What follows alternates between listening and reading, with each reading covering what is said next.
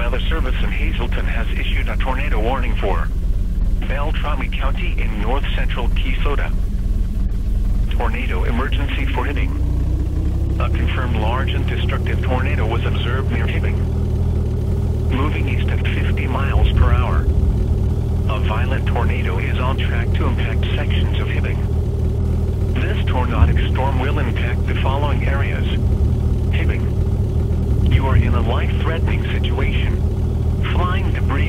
Deadly to those caught without shelter. Mobile homes will be destroyed. Considerable damage to homes, businesses, and vehicles is likely, and complete destruction is possible. Heavy rainfall may obscure this tornado. Do not wait to see or hear the tornado.